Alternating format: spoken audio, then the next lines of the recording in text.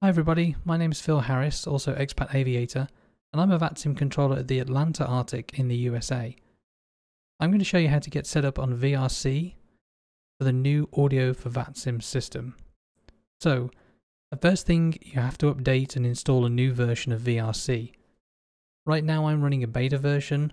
Um, you can see that I downloaded a VRC setup beta. However, you'll need to go to the VATSIM website, download the very latest version of VRC, and get that installed. The second thing you need to download is a separate client called Audio for VATSIM, and I'll show the install for that now. Super simple installer, the usual, just accept the defaults. Let it launch, and in my case, there's a newer version available, so I'm going to let it update.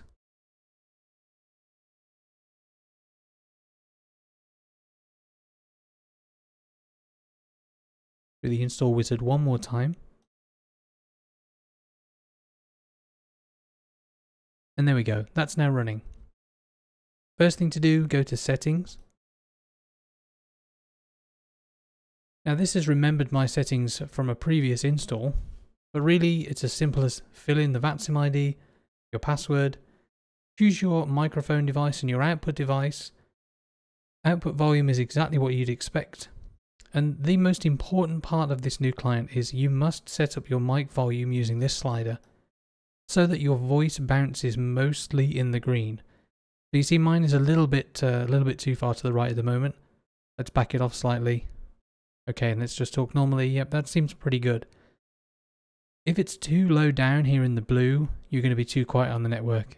If you're way up in the red, it's going to be super distorted. There's a checkbox to disable the realistic ATC audio effects. This takes away all the VHF and HF simulation. This really should only be used if, for some reason, you'd need a super clear signal. Push to talk is exactly what you'd expect, and you can ignore these simulator settings, these are for the pilots. And note that the pilots use exactly the same client as the controllers if they're using the standalone. Close out of this, and let's connect to the network. This part is exactly the same. So first of all, let's go on as uh, Atlanta Center.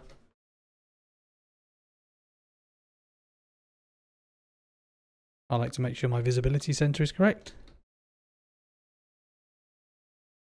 Okay. Connect with the new client. And you'll see that it's picked up that I'm Atlanta Center, but I've not primed a frequency yet. So, Atlanta Center, this is as it would be before. The frequency is as important as ever. But the Vox server and the Vox channel should be left completely blank. There's no need to put anything in here anymore. Let's prime center. You see it also ticks to transmit and receive. And you do not and should not click these headset and speaker buttons anymore because this separate client is handling all the audio for you.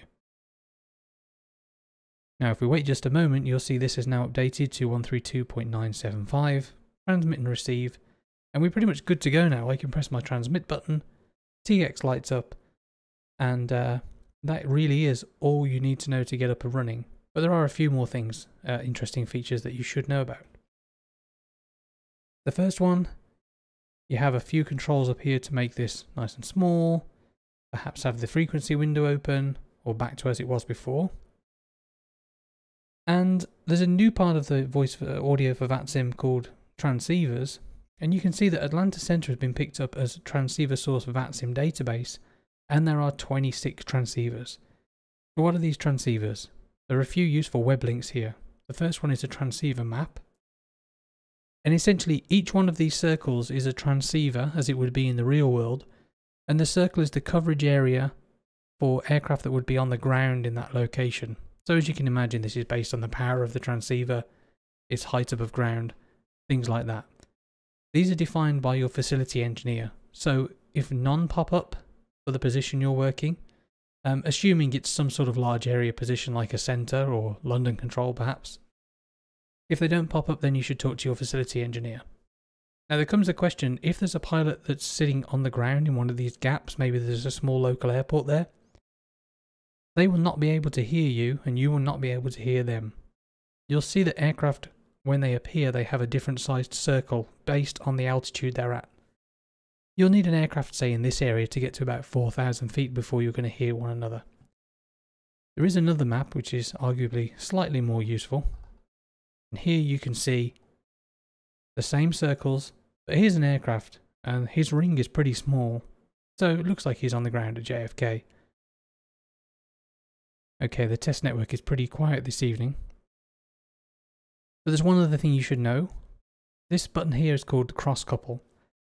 Let's take the example that we've got one aircraft flying in the Birmingham, Alabama area, and another aircraft up by Greensboro. Now, when I transmit, I'll transmit across all of these circles. Both pilots will hear me. If the Greensboro guy makes a transmission, because his ring will not be overlapping the guy flying down in Birmingham, then they will not hear one another. There is a way, however, by pressing this cross couple button, that any transmission made by the Greensboro guy gets repeated across my transceivers, and the guy down in Birmingham will hear him as well, and vice versa. So that's cross coupling. As you can imagine, some some systems in the real world have this cross coupling and some don't. So oftentimes there'll be someone talking to a center frequency that you can't hear and you just hear the controller replying. So that can be kind of realistic. There is another thing that you can do. You can add multiple frequencies. So let's say I also want to cover uh, Atlanta Tower top down. Right now it doesn't know the frequency, so I'll type it in. And I want to transmit and receive. If I just wanted to monitor, say, another controller, then I would just leave the receive button. If I needed to take over, if you're stepping away, I can transmit as well. Now you should note these are not voice rooms in the traditional way that VATSIM used to work. Every single frequency that's available to the pilots on VATSIM are open for audio all of the time. So there's no opening a room, there's no a controller owning a room, there's none of that anymore. The frequencies are all open, so anyone can tune to any frequency and just begin talking. So with that in mind, there's one other thing you need to do when you add these frequencies in VRC. Here's my tower link. I do need to tick transmit and receive here. If I don't do that, then I'm not going to get the text from 119.1. Now, whilst I've got two frequencies, pilots in their um, pilot clients, they are only going to see my primed frequency at the time of go live. They will not see that I'm listening and transmitting in at the Atlanta Tower frequency. You know, it would be up to me as a controller to say, call me back on Atlanta Tower 119.1. They will only see the frequency that you prime. And you can keep going like this. Set ground as well.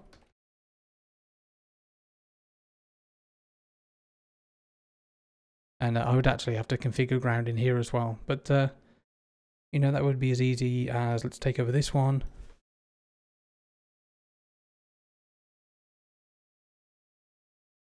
No voice server, no channel. Save and tick and we're good to go.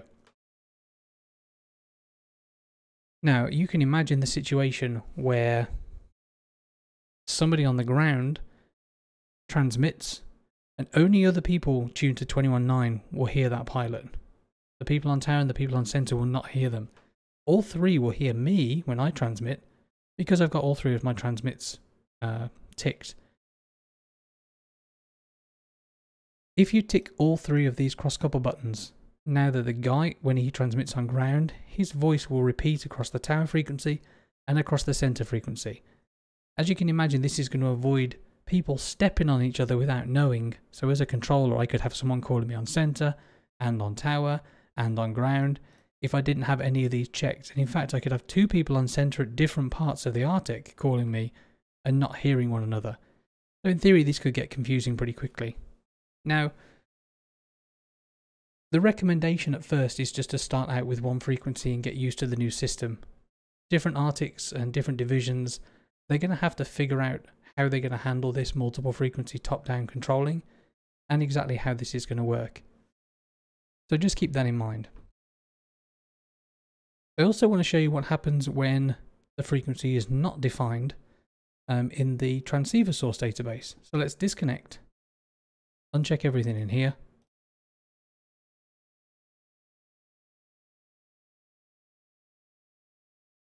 And let's log on as tower this time.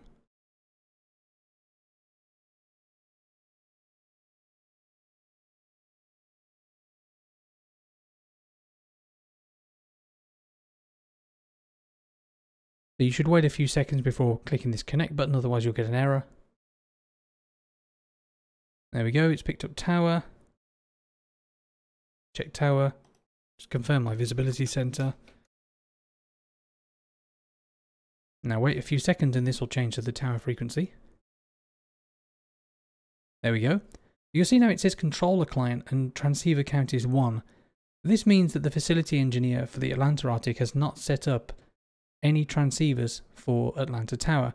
And it makes sense, there's no real reason to. It's going to be on the airfield. It comes with a standard range, which you'll find in the documentation for the for the new audio system. However, I can add more. So maybe I want to put uh, another transceiver at PDK for some reason. You can add up to five more transceivers yourself manually to the system. The very last thing I want to talk about is vATIS. So the ATIS system that is built into VRC will absolutely not work anymore after go live. So you'll need to be using vATIS or some other solution for putting your ATIS up. All you have to do, update vATIS to the latest version. Yes, I'm running the beta, but you'll just update to the latest version. Just as normal. And you're done. That really is all you need to do for the ATIS. So hopefully that's covered everything you need to know to control with VRC on the new audio for VATSIM system. If you have any questions, there'll be an extensive manual on the VATSIM website which you can read about all of the different controller clients, the standalone client, and all of the pilot clients as well. You can always get in touch with us on the forums or talk to your facility engineer. Thanks very much for listening, and I'll speak to you on the network.